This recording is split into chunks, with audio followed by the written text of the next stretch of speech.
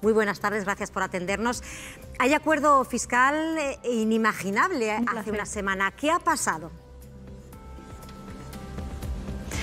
Bueno, ayer alcanzamos un acuerdo fiscal que es, digamos, la mitad del acuerdo presupuestario, falta la otra parte que efectivamente hace unos meses era absolutamente impensable. Nosotros llevamos proponiendo medidas de este tipo desde hace tres años y, sin embargo, bueno, pues estamos muy satisfechas de haber logrado por fin, en este último año de legislatura, convencer al socio de que España necesitaba esta reforma fiscal para que los que más tienen las grandes empresas, las grandes fortunas, paguen lo que les corresponde o al menos empiecen a pagar lo que les corresponde, teniendo en cuenta que hemos pasado por dos crisis económicas gravísimas y no han arrimado ni un poquito el hombro, no han puesto ni un solo euro más.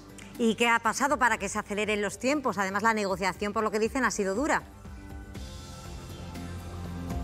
Bueno, yo creo que insistir funciona y creo que en este caso se nota también que el principal motor de los cambios más ambiciosos que se producen en el Gobierno es Podemos, es por lo que venimos trabajando en los últimos años y creo además que bueno, ahora queda la parte más importante de ese acuerdo presupuestario que es ahora que tenemos más eh, ingresos en qué vamos a gastar o en qué vamos a invertir esos ingresos. Yo creo que es evidente que no podemos invertir ese dinero en gasto militar, que tenemos que invertir todo eso en gasto social y esa parte del acuerdo que todavía no está cerrada es lo que se está negociando en estos momentos. ¿no? Nosotros hemos propuesto esa ley de familias con una renta crianza de 100 euros al mes para cada hijo o cada hija a cargo en las familias españolas, también la ampliación de los permisos de maternidad y paternidad a seis meses.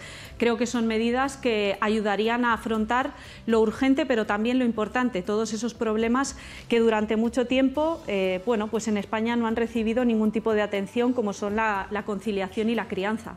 Señora Belarra, eh, el rey de España pedía a los empresarios más cooperación. Vamos a escucharlo. Que las empresas, vosotros, directivos y ejecutivos, tenéis importantísimas decisiones que tomar para adaptaros, para minimizar los riesgos y saber dónde están los límites, hasta dónde poder invertir, eh, hasta dónde está la competencia, la competitividad y cómo compaginarla con la también necesaria cooperación, la colaboración entre todos. El rey pedía colaboración a los empresarios y la patronal catalana eh, lo tacha este paquete fiscal de inmoral, populista, demagógico y confiscatorio. Me gustaría saber su opinión. El impuesto de solidaridad. Bueno, yo, yo creo que lo que es absolutamente inmoral es que quien haya estado sosteniendo nuestra sanidad pública, nuestra educación pública, nuestros servicios sociales públicos sean principalmente los trabajadores y las trabajadoras por cuenta ajena y las pymes, que pagan proporcionalmente el doble de impuestos en este momento en España que las grandes empresas.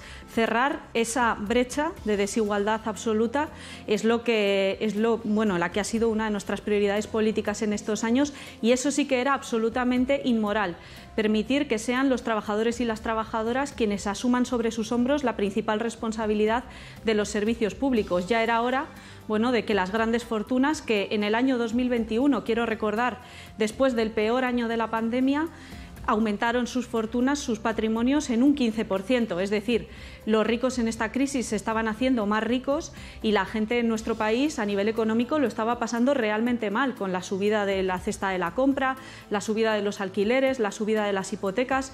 Yo creo que reequilibrar esa balanza fiscal era absolutamente imprescindible y por eso estoy muy orgullosa. Bueno, creo que si la, patronal catalana acusa este impuesto de inmoral es que vamos en el sentido correcto porque es el sentido de proteger a la mayoría social. El Partido Popular dice que los beneficios fiscales se necesitarían ahora, que es cuando hay más, eh, mm, la cuesta es más empinada con la cesta de la compra, el IPC, y que las clases medias son las grandes olvidadas de este paquete. ¿Qué opina usted? Fíjese que el Partido Popular siempre intenta esconderse. A mí me molesta mucho de ellos que utilizan permanentemente la mentira como una de sus estrategias políticas eh, más recurrentes. Yo creo que el Partido Popular tiene un, tiene un problema cuando no dice la verdad sobre cuál es su programa. Cuando el Partido Popular estuvo en el Gobierno, lo que hizo es una reforma del impuesto de sociedades que está provocando que hoy, cuando las empresas españolas más grandes ganan 50.000 millones de euros más, estemos recaudando 10.000 millones de euros menos en el impuesto de sociedades. Eso es lo que hizo el Partido Popular, agujerear el impuesto de sociedades para que hoy tengamos menos dinero.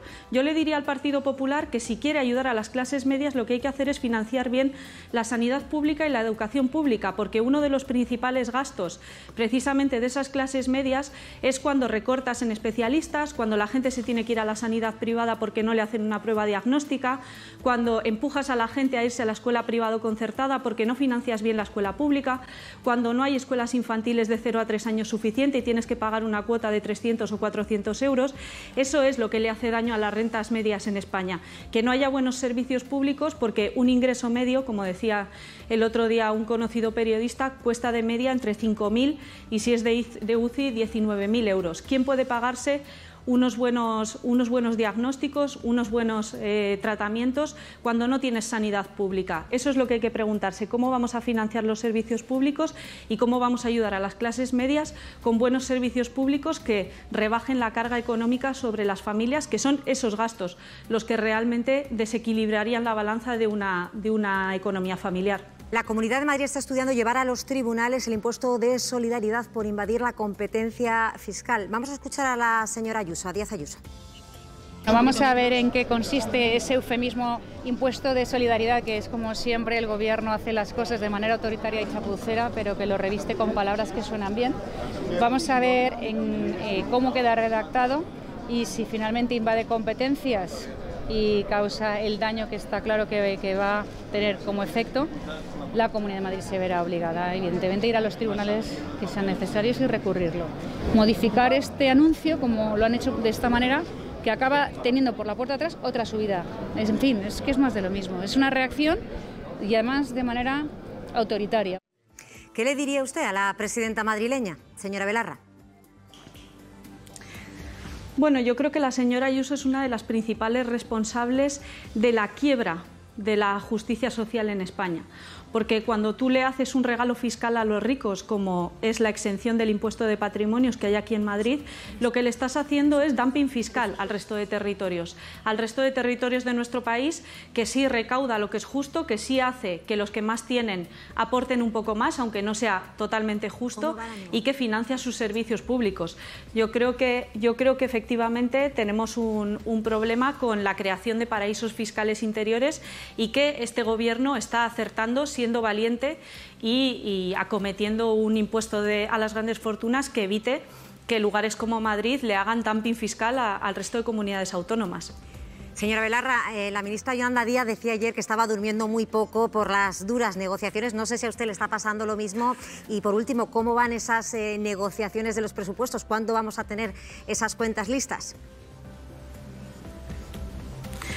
Bueno, nunca se duerme mucho en los acuerdos presupuestarios, esto ya lo sabíamos de, años anteriores, pero yo creo que bueno, eh, queda mucho por negociar. Como decía al principio, eh, tenemos un acuerdo sobre cómo aumentar los ingresos de las arcas públicas. Es una buena noticia que vayan a ser los más ricos los que aporten más a esas arcas públicas, pero queda la parte quizás más importante o que más les interesa a los ciudadanos y las ciudadanas, que es precisamente cómo vamos a gastar esa inversión.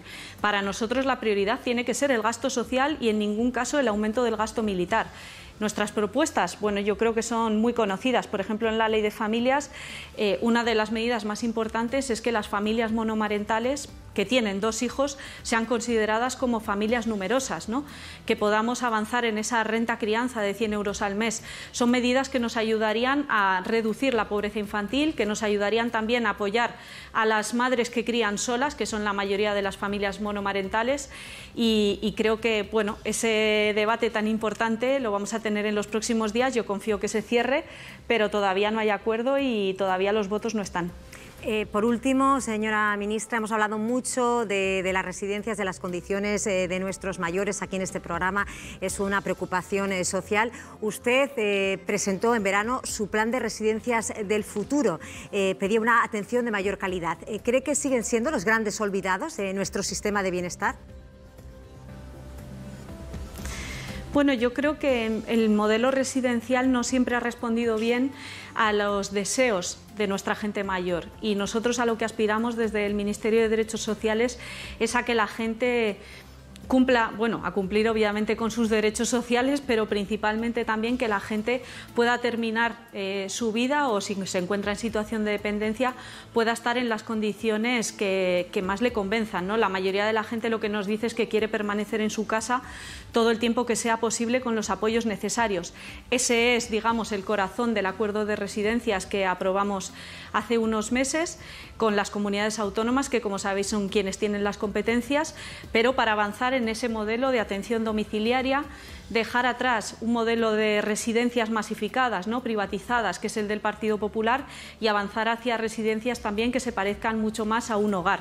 Yo creo que gracias también a la inversión de los fondos europeos de recuperación vamos a poder avanzar con paso decidido en ese camino en los próximos años y desde luego creo que se lo debemos a las personas mayores en nuestro país que quiero recordar, eh, especialmente a los pensionistas y las pensionistas, sostuvieron con sus brazos eh, todo este país en la crisis del 2008. Yone Belarra, ministra de Derechos Sociales, Agenda 2030, gracias por atendernos en Hablando.